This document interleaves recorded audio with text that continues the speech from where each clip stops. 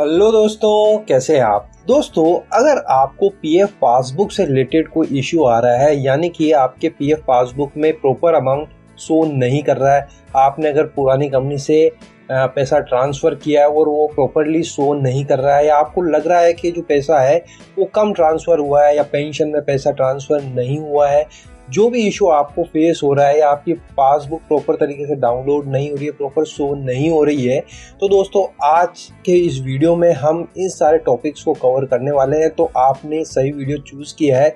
Video को अंत तक आप देखते रहिए। आपके सारे सवाल इस वीडियो में कवर कर लिए जाएँगे और इसका क्या प्रोसेस होता है किस तरह से पासबुक से रिलेटेड अगर इशू आ रहे हैं टेक्निकल इशू या अमाउंट से रिलेटेड इशू उसको किस तरह से सॉल्व किया जाता है, कहाँ पे कंप्लेंट करनी होती है, सब कुछ इस वीडियो में हम कवर करने वाले हैं। तो वीडियो अंत तक आप देखते रहिएगा, सारे इन्फॉर्मेशन आपको मिल जाएगी। तो दोस्तों वीडियो को शुरू करते हैं। वीडियो शुरू करने से पहले आपको गुजारिश है प्लीज़ वीडियो को लाइक कर दीजिएगा, मिलने वालों के साथ में ज़रूर शेयर करिएगा।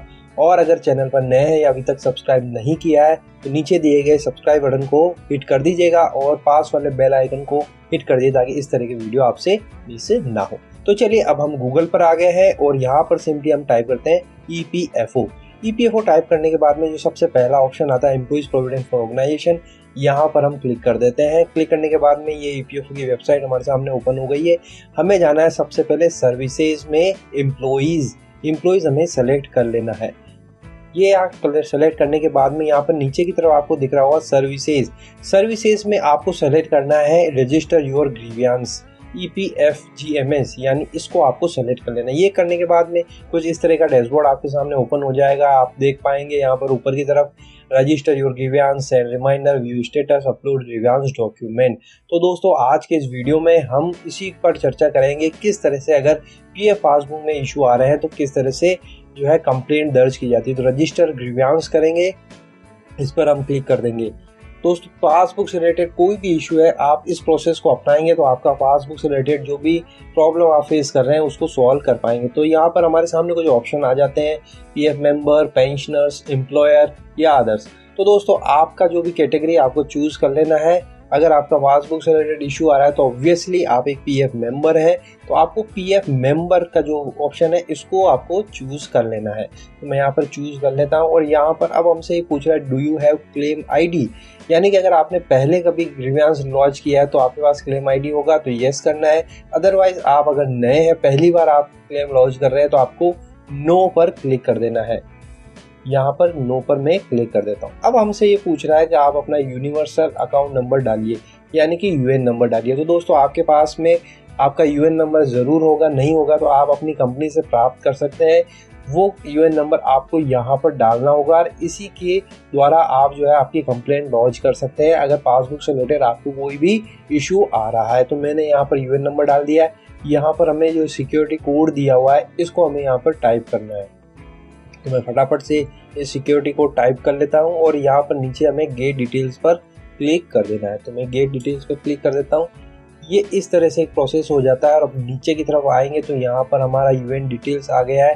यूनिवर्सल अकाउंट नंबर हमारी ईमेल आईडी फ़ोन नंबर जो आधार से लिंक है। अब हमें करना है गेट ओटीपी तो दोस्तों, जो आपका आधार से लिंक मोबाइल नंबर है, जो पीएफ में अपडेटेड है, उसी पर ओटीपी आएगा तो ये आप ज़रूर ध्यान रखिएगा, आपके आधार में मोबाइल लिंक ज़रूर करवा लीजिएगा। तो ओटीपी आ गया है, सिंपली जो ओटीपी आया आपको यहाँ पर टाइप कर देना है। तो मैं फटाफट से जो भी ओटीपी मेरे मोबाइल पर आया यहाँ पर मैं टाइप कर देता हूँ और सबमिट पर हमें जो है क्लिक कर देना है। वेरीफाइड हो चुका है ओके okay हमें कर देना है। ओके okay करने के बाद में अब सिंपली हमें नीचे की तरफ़ आ जाना है। यहाँ पर हमसे कुछ ये डिटेल पूछ रहा है, जो हमें भर देनी है। क्या आप मेल है, फीमेल है, ट्रांसजेंडर है जो भी है, आप चूज़ कर लीजिए। आपका एड्रेस यहाँ पर ये यह पूछ रहा है कम्युनिकेशन एड्रेस वो हमें यहाँ पर डाल देना। तो मैं मेल करके जो भी एड्रेस है, मैं फटाफट से फिल कर देता हूँ।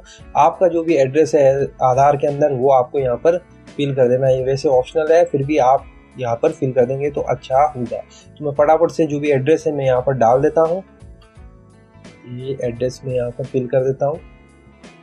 दोस्तों, वीडियो को आप ज़रूर लाइक कर दीजिएगा। अगर आपको अच्छा लग रहा है और मिलने वालों के सामने ज़रूर शेयर करिएगा। तो चलिए, यहाँ पर देखिए, मैंने यहाँ पर डाल दिया कंट्री हमें सेलेक्ट कर लेनी है स्टेट स्टेट जो भी आपका स्टेट है, जिसमें भी आपका पीएफ ऑफ़िस है, वो स्टेट आपको सेलेक्ट कर लेना है। जिसमें भी आपका पीएफ लोकल ऑफ़िस है। यहाँ पर अल्टरनेट कॉन्टैक्ट नंबर पूछ रहा है तो डाल दीजिए अदरवाइज़ इसको आप छोड़ सकते हैं। ये करने के बाद में यहाँ पर हमें सिक्योरिटी कोड वापस से ही पूछ रहा है तो वो हमें यहाँ पर जो लिखा हुआ है एज इट इज़ यहाँ पर टाइप कर देना है। ये करने के बाद में अब नीचे की तरफ़ हमारे सामने कुछ ग्रीवियांस डिटेल में select P F number to launch grievance against यानी कि आप का किस कंपनी से रिलेटेड आपको यहाँ बहुत सारी सर्विसेज़ दिख जाएगी, जिस जिस कंपनी में आपने काम किया है, वहाँ से रिलेटेड आपको मिल जाएगा। तो आपको मेनली करंट ही सेलेक्ट कर लेना है, क्योंकि करंट कंपनी में आप काम कर रहे हैं तो वहाँ से आप कंप्लेन लॉन्च कर रहे हैं। अगर आपका पुरानी कंपनी है तो वो भी आप सेलेक्ट कर लेते हैं अब यहाँ पर देखिए ग्रीवियांस रिलेटेड टू किस से रिलेटेड है आपका ग्रीवियांस क्या पी ऑफ़िस से है? एम्प्लॉयर से, यानी कंपनी से रिलेटेड है? ई डी एल आई से रिलेटेड आपका इशू है? या कोई प्री पेंशन से रिलेटेड आपका इशू है? तो दोस्तों, हमारा जो हम बात कर रहे हैं, वो पीएफ पासबुक है, वो पीएफ ऑफ़िस से रिलेटेड हमारा इशू है। तो हमें सिंपली यहाँ पर पीएफ ऑफ़िस सेलेक्ट कर लेना है, क्योंकि जो पासबुक है, वह प्रॉपर दिख नहीं रही है। अमाउंट प्रॉपर शो नहीं हो रहा है तो हमें पीएफ ऑफ़िस में ही ग्रेमांस लॉन्च करनी है। अब यहाँ पर सेलेक्ट कैटेगरी करनी है, जो तीसरा ऑप्शन आप देख पा रहे हैं passbook related issues including amount not shown in passbook ये वाला जो ऑप्शन है कैटेगरी हमें चूज़ कर लेनी है कि हमें हमारी पासबुक में इशू आ रहा है प्रॉपरली डाउनलोड नहीं हो रही है या प्रॉपर शो नहीं हो रहा है अमाउंट जो हमें लगता है वो दिख नहीं रहा है। अब आप क्या कर सकते हैं, यहाँ पर कुछ डिस्क्रिप्शन भी आप लिख सकते हैं। अगर आपका जो भी रिलेटेड इशू आप फेस कर रहे हैं, चाहे डाउनलोड से रिलेटेड या फिर आपका जो अमाउंट प्रॉपर शो नहीं कर रहा है, आपने अमाउंट ट्रांसफ़र करवाया प्रीवियस कंपनी से, वो प्रॉपरली ट्रांसफ़र नहीं हुआ या कम अमाउंट ट्रांसफ़र ट्रांसफ़र हुआ है सो प्रॉपर नहीं कर। रहा जो भी इशू है, आपको यहाँ पर टाइप कर देना तो मैं एग्जांपल के यहाँ पर सिंपली लिख रहा हूँ sir in passbook previous company amount not showing as I have already as I have already यहाँ पर मैं लिख देता हूँ applied already applied for applied for में यहाँ पर अप्लाइड फॉर ट्रांसफ़र ये इस तरह से मैंने लिख दिया। तो दोस्तों, ये मैंने एग्जांपल के लिया आप जो एक्चुअल इशू है एक्चुअल आप जो प्रॉब्लम फेस कर रहे हैं, वो आपको यहाँ पर डिस्क्रिप्शन में लिखना है। ये लिखने के बाद में यहाँ पर अपलोड डॉक्यूमेंट हमसे पूछ रहा है तो आप, ये ऑप्शनल है, आप चाहे तो चूज़ फ़ाइल जो भी आप चाहे तो आप यहाँ पर पासबुक भी डाउनलोड करके यहाँ पर अपलोड कर सकते हैं और अटैच कर देना है। तो वो एज ए प्रूफ रहेगा, ताकि आप यहाँ पर प्रॉपर एविडेंस दे अब सिंपली हमें ऐड के बटन पर क्लिक कर देना है। ये सब कुछ करने के बाद में हमें यहाँ देखिए ऐड कर देना है। आप नीचे की तरफ़ आएँगे तो ये देखिए दोस्तों, आपका जो है कम कंप्लेन जो है कैटेगरी इस तरह से दिख जाए grievance category passbook related issues including amount not shown in passbook. अब चाहे तो आप एडिट कर सकते हैं अदरवाइज़ सिंपली आपको सबमिट कर देना है। सबमिट करते ही आपके मोबाइल पर एक रजिस्ट्रेशन नंबर आ जाएगा और यहाँ पर भी आपको एक रजिस्ट्रेशन नंबर मिल जाएगा। उसको आप सिंपली नोट कर लेना है फ्यूचर रेफरेंस के लिए। तो दोस्तों, आपको फिर क्या करना है? सबमिट करने के बाद में तीन से चार दिन वेट करना है। वेट करने के बाद में आपको क्या करना है व्यू स्टेटस ऊपर आपको दिख रहा हो, वहाँ जाकर आप चेक कर सकते हैं कि आपने जो ये प्रॉब्लम जो ग्रीवियांस डाला है, उससे रिलेटेड क्या स्टेज क्या एक्शन पीएफओ ने लिया है ईपीएफओ ने क्या एक्शन लिया है। तो आपको तीन से चार दिन तो वेट करना ही है दोस्तों। उसके बाद ही आपको जाकर चेक करना है। तो पीएफ ऑफ़िस जो भी ग्रीवेंस आता है, उसको बहुत ही सीरियसली लेता है।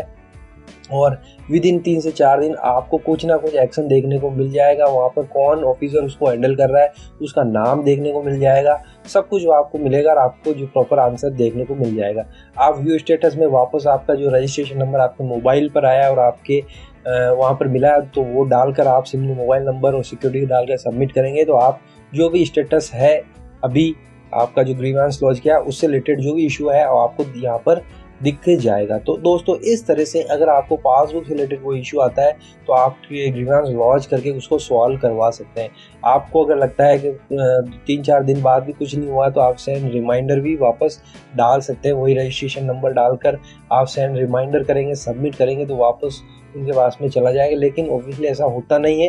तीन से चार दिन के अंदर अंदर उसमें कुछ ना कुछ वो एक्शन ज़रूर ले लेते हैं। अगर आपको लगता है अपलोड ग्रीवेंस डॉक्यूमेंट बाद में आपको कोई ग्रीवेंस डॉक्यूमेंट अपलोड करना है तो भी वो आप बाद में यहाँ पर जाकर सेम प्रोसेस या रजिस्ट्रेशन नंबर डाल मोबाइल नंबर डालकर अपलोड कर सकते हैं। तो दोस्तों, इस तरह से आप पासबुक रिलेटेड इशू सॉल्व कर सकते हैं। आई होप वीडियो पसंद आएगा वीडियो को लाइक शेयर कर ज़रूर कर दिया थैंक यू वेरी मच